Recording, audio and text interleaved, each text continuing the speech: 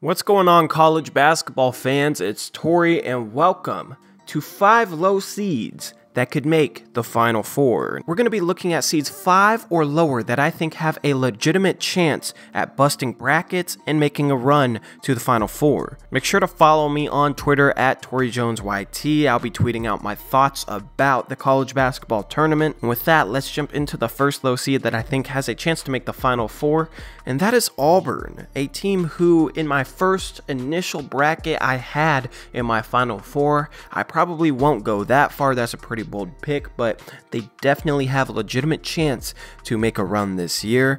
Their scoring is so potent and they're well coached by Bruce Pearl and they're hot at the right time. This reminds me of teams like Michigan last year, who was a three seed that made the Final Four, and teams like UConn back in 2011, that was a three seed that made a run to the Final Four where they won their conference tournament against some good competition and were hot going into March Madness. And Auburn beat Tennessee by 20 in the SEC championship game, and they really showed how dangerous they are as a team. You got some legit players, Jared Harper and Chuma Okeke are two of my favorites, and Chuma Okeke is a borderline first round pick next season. This dude is an NBA talent. He can shoot, he can drive, he's tall, he's lanky, and it starts with him. But Jared Harper at 5'11 is just a dynamite guard who, despite his size, he's able to attack the rim well. He just bowls his way in the air into big men and still somehow finishes. He can hit shots, and I don't think their bracket is that tough. Kansas has looked awful lately, and they might be less of a threat than Auburn's first round matchup, which is the 12 seed New Mexico State. And then you got UNC.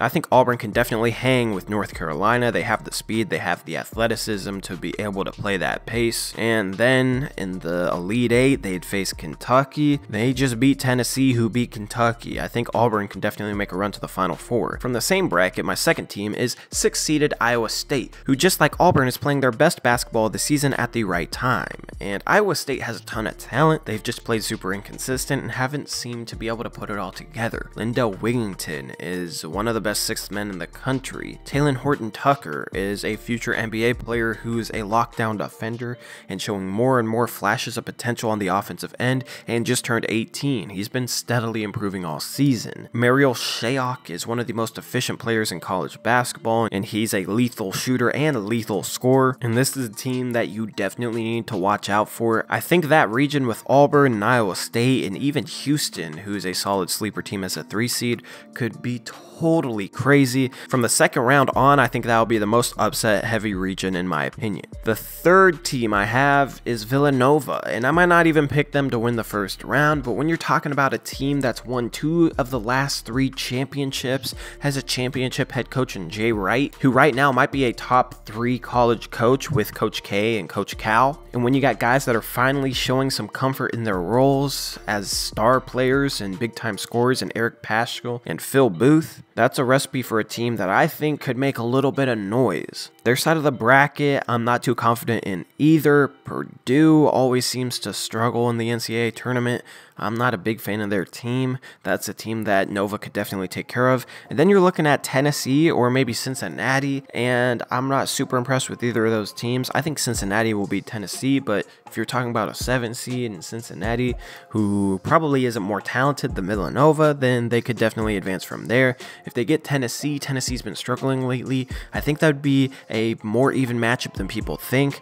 And then in the Elite Eight, you'd either have Virginia or another team that probably isn't more talented than Villanova in a Kansas State or Wisconsin or maybe even in Oregon. But if it is Virginia, we've shown how they've collapsed in previous years. I wouldn't put it past Villanova to be able to exploit Virginia's deficiencies that they've shown in past tournaments and be able to make the Final Four. Next, we do have 7th seeded Cincinnati, who I just talked about, and that's more just me not having much confidence in that region at all, and me thinking Cincinnati matches up really well with Tennessee. I think Cincinnati has a very good chance at making the second weekend of the tournament and making the Sweet 16. And then they'd go up against Purdue or Villanova. As I said, they're probably not more talented than Villanova or Purdue, but I still think that's a very even matchup. And then once you get into the Elite Eight, like I said with Villanova, Uh, you get Virginia, or you get a team that's not that good, that's making a Cinderella run, and you definitely have a chance if you're able to get to that spot. I think Cincinnati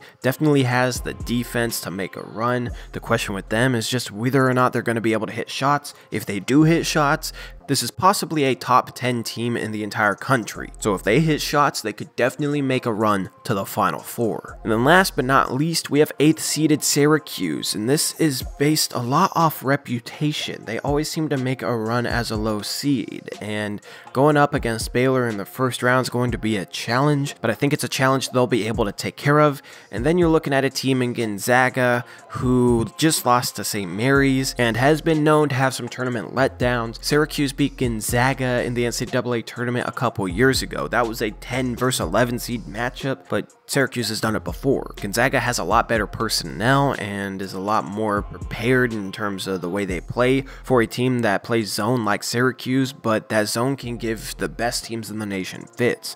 And that's really what it need to do for Syracuse to make a run. If they beat Gonzaga, you're looking at teams like Florida State, Marquette. If they advance past there, you're looking at a team like Michigan or Texas Tech. Michigan is a little bit suspect offensively in my opinion, and that zone could definitely shut them down if they're able able to extend on the couple of shooters that Michigan does have, and then if they're able to score against that Michigan defense, Syracuse could make the Final Four. We've seen it before with them as a 10 seed, so I wouldn't put anything past Jim Boeheim and that Syracuse Orange team. There's definitely a few 8, 9, maybe even 10 seeds that you can look at as having a chance to make the Final Four. I just think Syracuse is the most likely. So let me know what you think about this down in the comment section below. Let me know if you think I missed on any sleeper teams, and just give me your thoughts. Check out all the other March Madness content that I'll be making, and with that, I'm out of here. This has been Tori. I'll see you college basketball fans later. Peace out.